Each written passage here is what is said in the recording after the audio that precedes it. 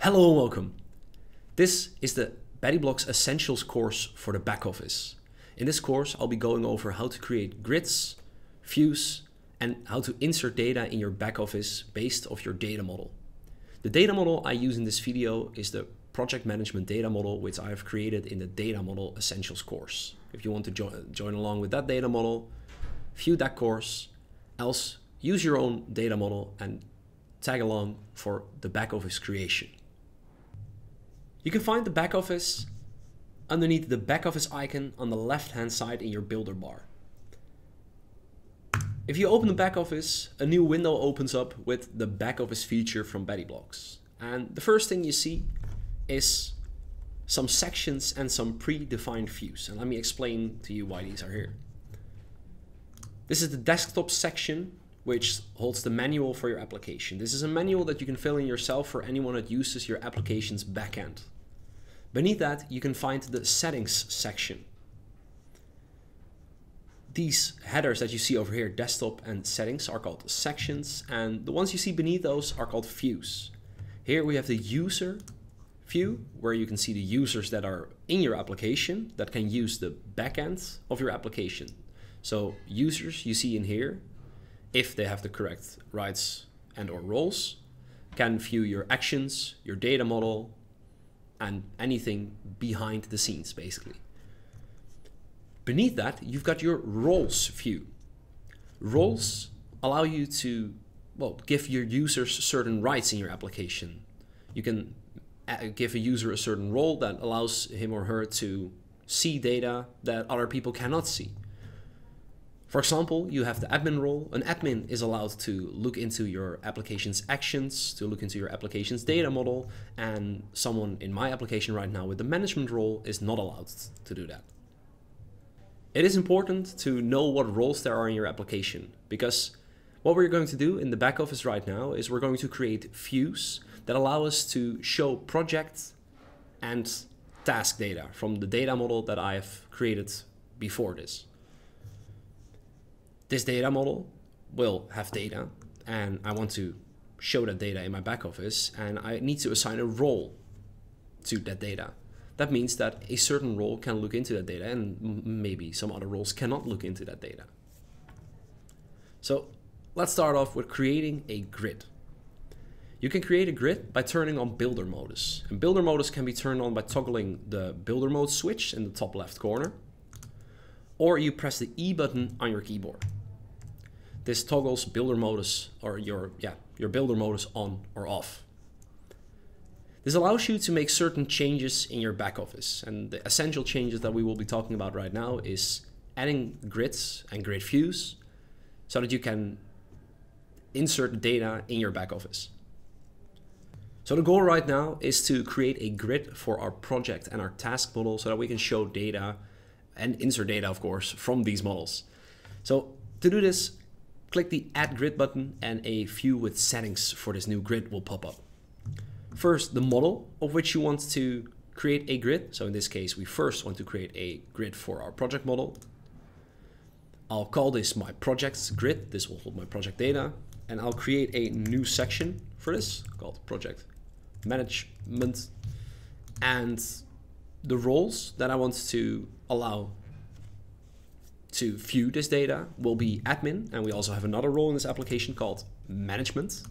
In your application, the role will probably be called a different name. You can change the name of a role yourself or create new roles and you can add those roles in here in your settings. So these roles are allowed to view project data. We don't need any uses. If you want to filter your data, you can create a filter here as well or set an order for your filter. I don't want that for my use case right now. I do, however, want to set an icon so let me select the envelope icon for my projects just to make it a little more visually appealing and save it. So this right here is our project management section with our projects view. This is the way some uh, a developer will be able to look at it via builder modus. And if you turn it off, anyone without development rights so anyone who will look into your application who cannot develop or who does not have the access to develop will look at your application like this. So without the yellow bar and the other options. So let's insert some data in our, to, into our application by pressing the new button. The new button up here will create records of data for our project model. So if I press new, as you can see, we have created a we have a description in our model, we have an end date, an image, a name, a status, and a user that can be connected to this project. So let me fill in a description. The description for this project will be because it's a messy house because the project name will be clean the house because you really don't want to see mine right now because it's messy. and as you can see, the end date um, is next month. In the data model course, I've shown how you can uh, predefine a set date if you do not want to fill in a date yourself. So right now it's already set a month ahead. Well, I'd like to have a little more time to clean my house. So I'll just take two months. Let me add an image. So here we go. Select an image. The status will be new because I haven't started yet. And the user that will be connected will be myself because I'm responsible for cleaning my house. Let's save this. And as you can see, I cannot fill in a total amount of tasks or a total amount of time because these are expressions. These will be filled in automatically by calculations, but the rest, which we filled in ourselves, are showing right now. So what you see right here is a record of data, the first record of data, and the detail view, which holds all of this data, the information for this data. So let me just quickly add some more data for testing.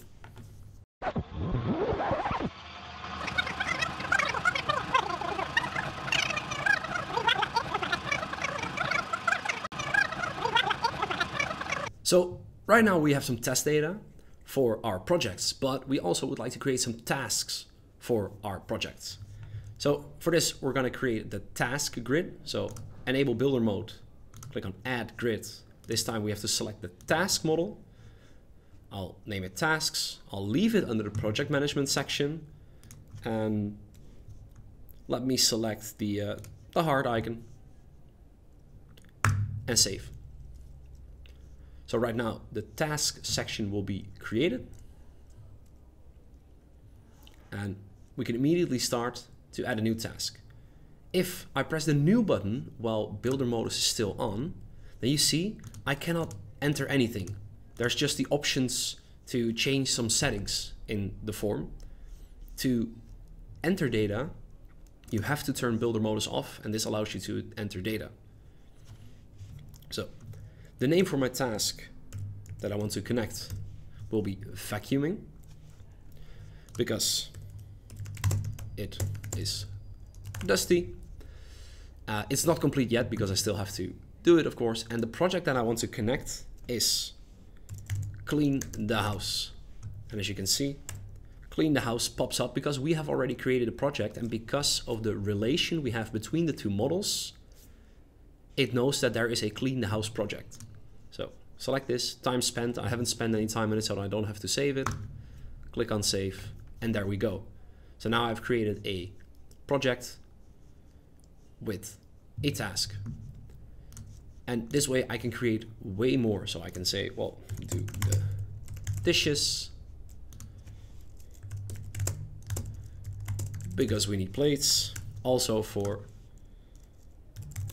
clean the house, the clean house project, and I can save this. So right now, this means that our clean the house project has two tasks. And well, how can we view that? Well, via projects or via any of your grids, you can also make subviews as you can see, the total amount of tasks that we have is counting up. So that, that's correct already. But I'd also like to have an overview. And that's that's something you can create called a subview. So turn builder modus on again. And here you can see the add subview button in the right corner. If I click on add subview, it automatically adds the possible, possible sub, subviews that are connected via a relation, so tasks or user. So let's create a tasks subview. And here I can say, well, we've already created a view for tasks, so I would like to reuse the way this view looks. So tasks one, don't need any of the other settings, press save, turn builder modus off again. And as you can see right now, two tasks in our subview. And I, if I click on this subview, then another view opens up with the two tasks that I've just created.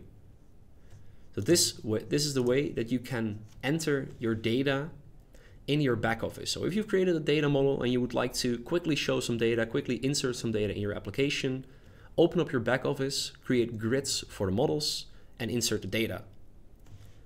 If by any chance you have changed something in your model and you cannot immediately find the data you want to show up here, click on any of the records that you have or press new open builder modus and look into the form and here you can see the add component button.